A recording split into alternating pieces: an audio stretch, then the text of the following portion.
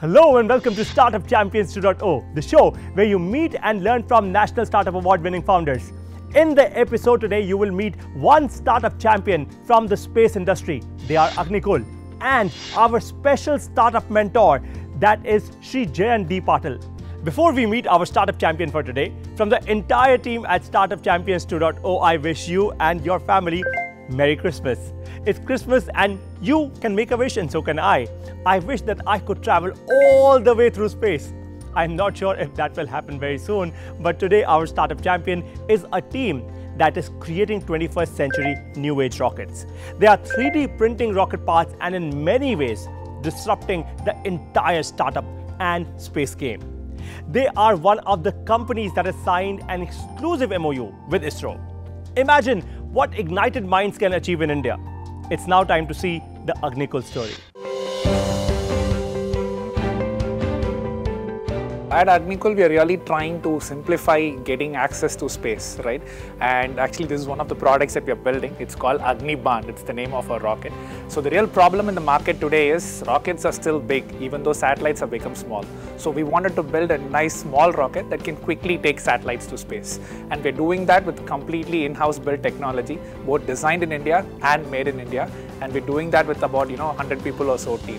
So we have a testing facility, a rocket factory, and an assembly facility where we put the vehicle together. So we are basically providing transportation services to space for commodities. Think of it like an Amazon truck or a Flipkart truck that's going from point A to point B. Point B is space. And uh, we are doing that in such a manner that the wait time between when you place the order to actually take someone to space is less than two weeks. So the larger vision really is to make space transportation super simple. It should be as easy as hailing a cab, uh, you know, Ola or Uber in India. That's how easy it should be to go to space.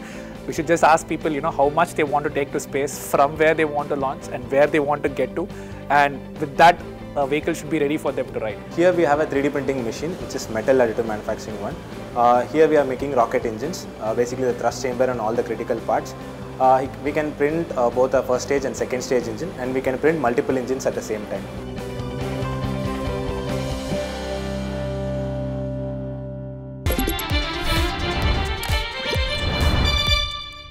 Srinath and Moin, welcome to Startup Champions 2.0. Thank you. Thank you for having us here. My first question to the both of you is, uh, look, you're building rockets. Um, we get that. But what problem are you really solving here? So what has been happening in the satellite industry is satellites have become really, really small. Sure. But rockets are, you know, beyond all of the technology that they're actually having are simply vehicles. And vehicles which were built for satellites of the past, which were like really huge satellites. So, but satellites have shrunk. Rockets are still sort of stuck in the past. So we are trying to bridge that gap by building, you know, small rockets that can take them quickly to space. So what we decided is like, you know, we'll build a vehicle that is capable of lifting up to 100 kgs of payload. So okay. that's exactly what we were thinking because the satellite mass was actually shrinking. And then we also wanted to add a little spin to it. So we said, because the satellites are shrinking, because the electronics are shrinking, mm. so the satellite might also go as low as 30 kgs as well, as even smaller than that as well. And they could also be doing constellations. So that's a new template that has been come across the market where like you know instead of putting one big satellite mm-hmm. you put a bunch of small satellites and you make them talk. So that's what we call it as constellation.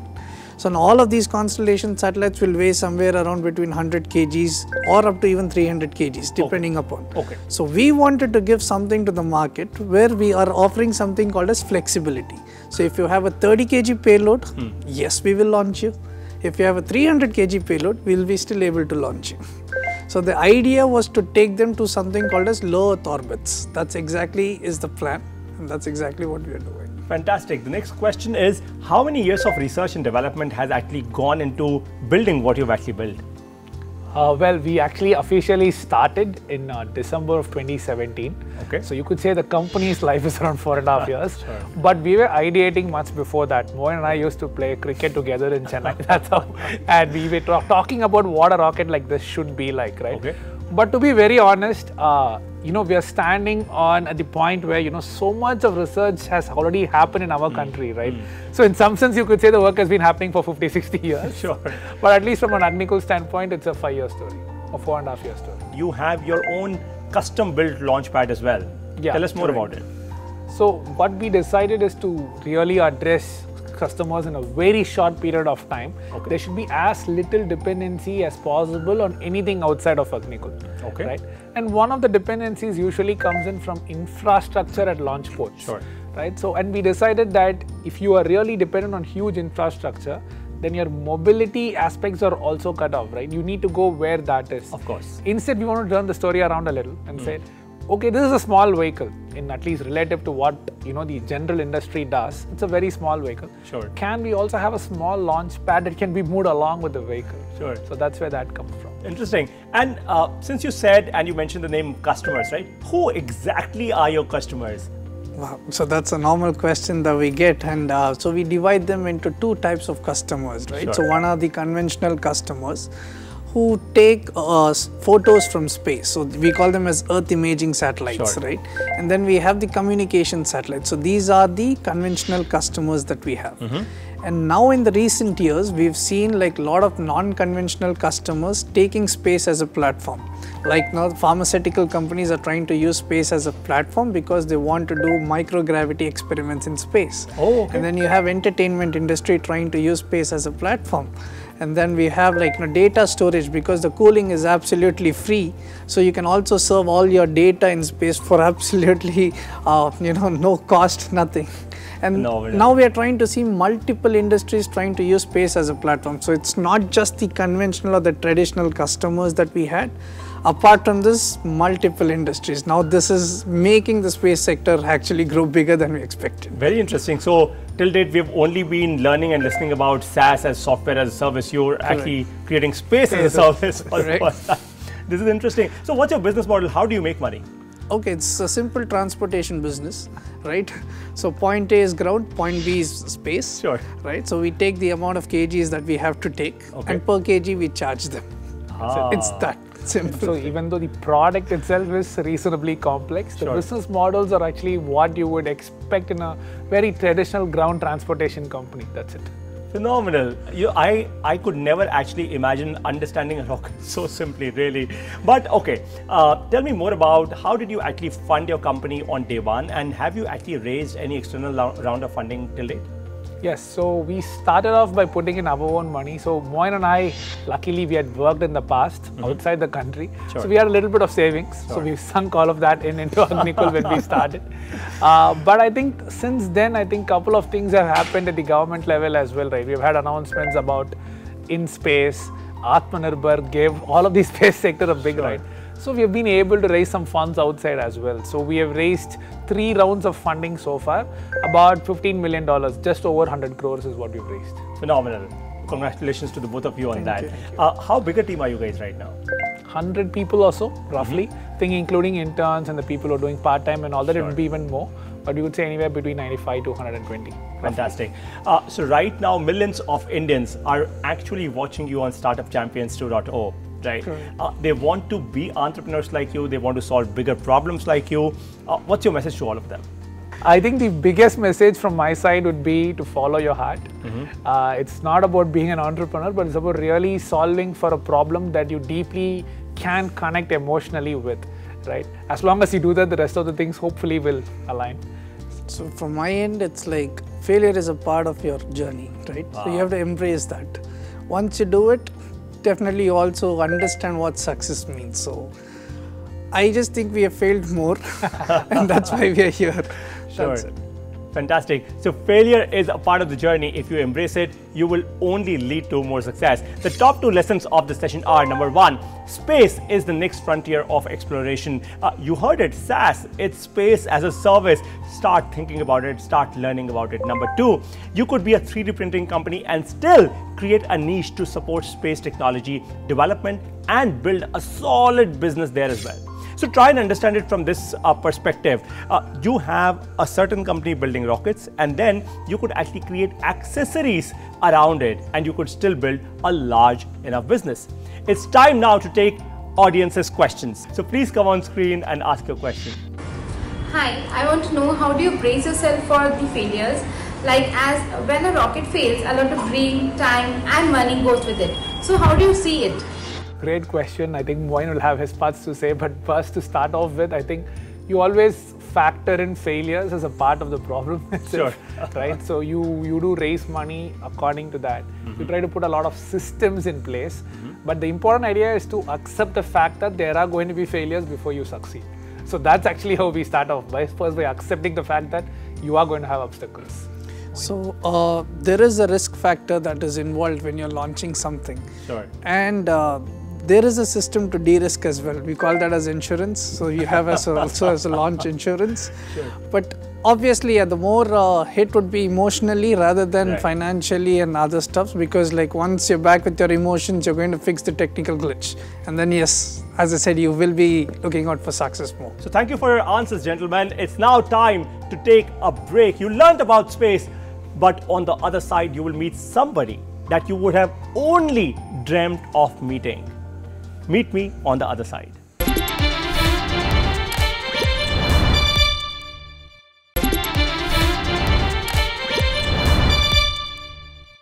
Welcome back to Startup Champions 2.0. Space sector is booming. Funding into space tech startups has grown by 198% in 2021 compared to 2020.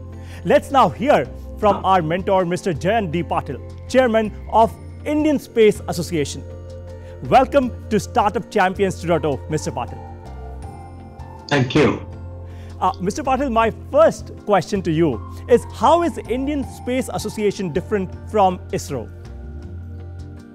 In, in fact, uh, ISRO is the one who's been a science and technology house, and we know there's been uh, amazing success story for India, which has been crafted by ISRO. Uh, of course, as a part of ISRO's growth, uh, with whom a whole lot of industry is associated, uh, truly to my uh, uh, uh, memory, it's exactly now close to about 54 years since when the ISRO was founded in its current form. Industry was always associated, but it was always a sort of a tierized partner. It was just a manufacturing partner. More of build to print, entire concept coming from the science and technology people, but some amazing success stories for India it built. What it obviously didn't do was what the sector is about to be opened now for to directly get into space commerce in a big way.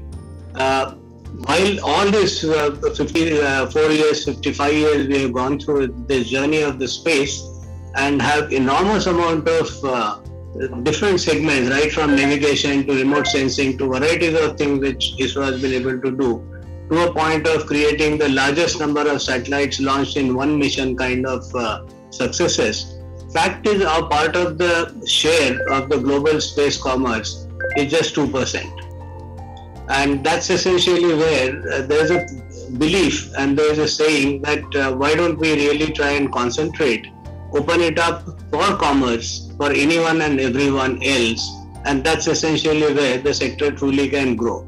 So that's essentially where we are today at a time in uh, history uh, when we start looking at some time back uh, in future and when we look back we would have said that uh, 2020 to 22 has been a kind of period in which this enabling to the industry directly get into a space commerce would have begun. The Space Association here now doesn't talk of any one segment of the space industry. Uh, we are talking of launch vehicles, we are talking of ground segment, we are talking of space services, we are talking of remote sensing, we are talking of communication. We are, we are across the segments, and what we also want to be talking about is entire data that would finally get collected, which essentially will reach the masses, and that's essentially where nearly about uh, 75% of the space sector and the commerce associated is all about data and the data dissemination and the analytics which are built around. Now, this is essentially you know, different segments of this market will start thriving, and there's one organization which essentially uh, not remaining or restricting itself to any one given segment, and that's essentially where response positioning is. That's essentially what we are doing today. Of course, ISRO, uh, because of its past, becomes extremely important partner in terms of the science and technology that exists, which today can always be taken by industry and built upon that. Fantastic. Space tech is tough. It is extremely tough. Uh, India's key advantage is frugal innovation.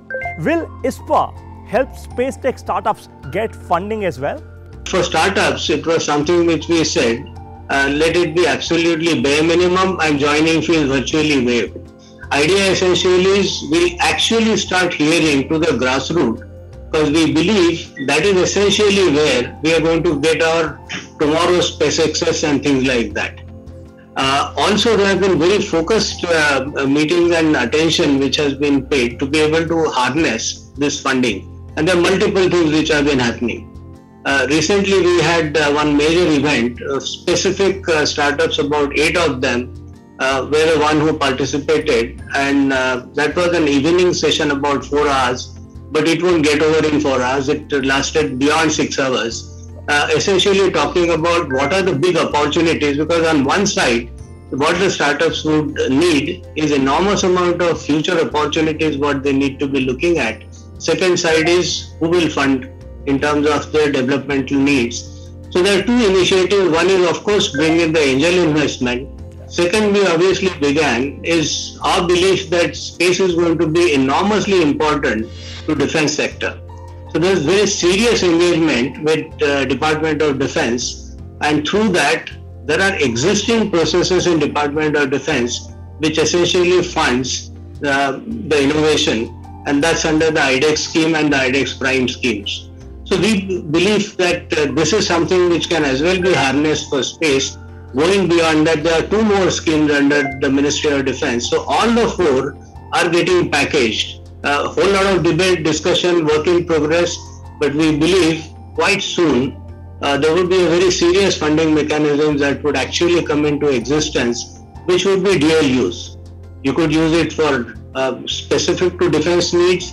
On those things, there will be obviously some encryption, decryption related uh, issues which will get addressed. And of course, without that, it's open for the, any kind of space commerce. What is your advice to space tech startups? Should they focus on downstream applications like remote sensing, satellite solutions, or upstream applications like launch vehicles, propulsion, propulsion uh, engines? So, what's your advice to all of them? Um, to my mind, uh, to be frugal, uh, to be truly innovative, far more with the existing data can start monetizing. If you build your foundation strong, uh, obviously, thereafter, it's time to start looking at the upstream. And I tell you for a reason.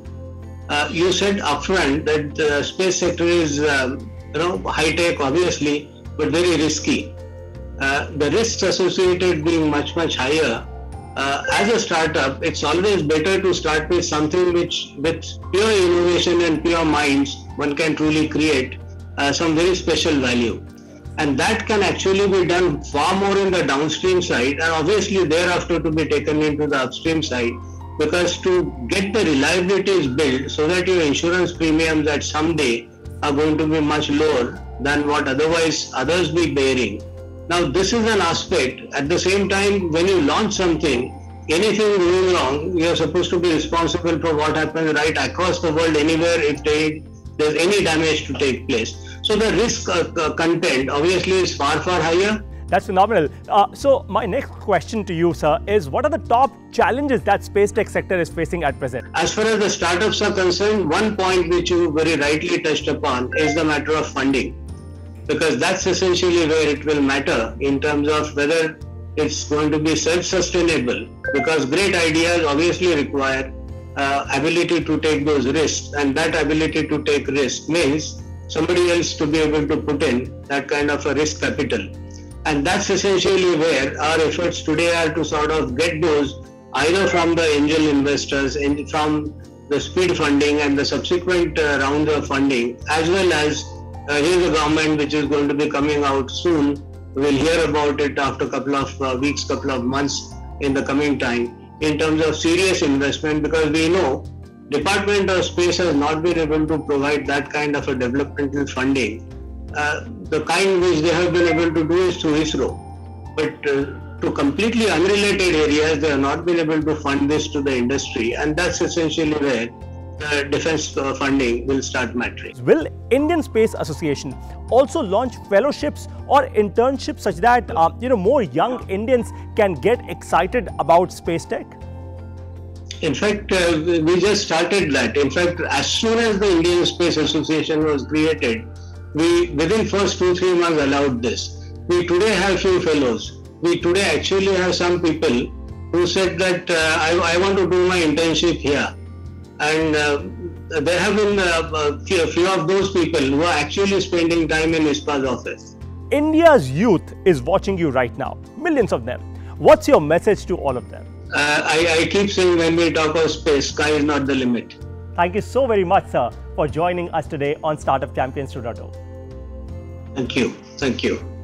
It's now time for a break. Come back to continue your journey of how to start a startup with step number 20. I'll see you on the other side.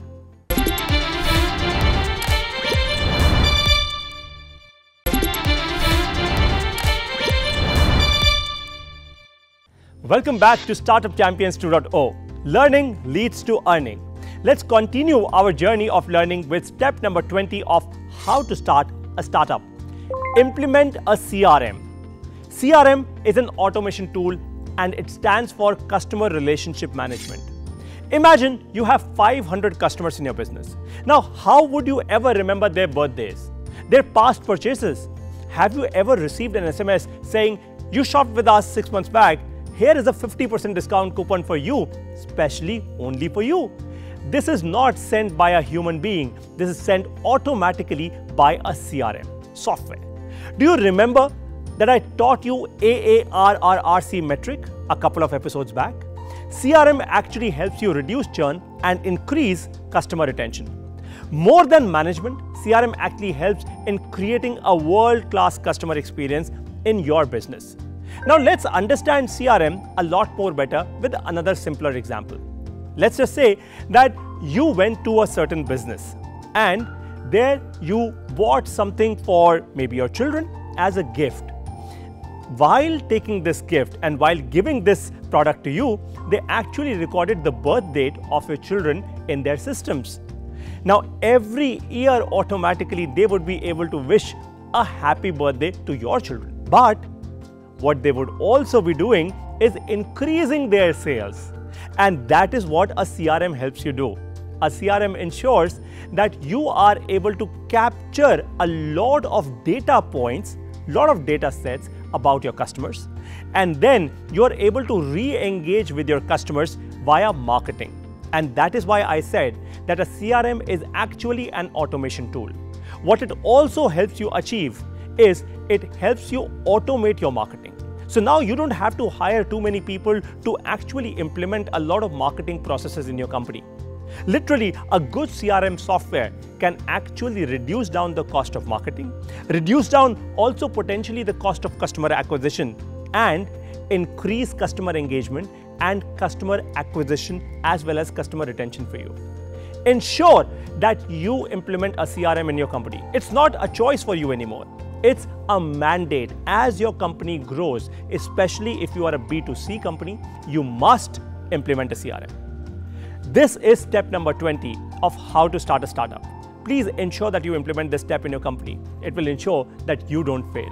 What did you learn from today's episode? Tell me more about it. Share your feedback with us, make your videos, and post them on social media with hashtag startup champions too. In the next episode, you will meet startup champions from Industry 4.0. Thank you for watching Startup Champions 2.0. Jai Hind. So this drone is called Drona from our popular uh, mythology and spirituality. It's, uh, it's meant to be a small, versatile drone that can fly in tight spaces between buildings, in forests, on the borderlines. As we talk about the insights that are generated by the AI models and by people recording, so these things can be actually sold to the specific departments or organizations that are interested in this data. How is a concrete 3D printer fundamentally different from all the rest of the 3D printers that we've seen? Concrete 3D printer is a much bigger system. You're talking about a 3D printer that is the size of a building or, uh, I mean, it can accommodate a building inside it, print out an entire structure.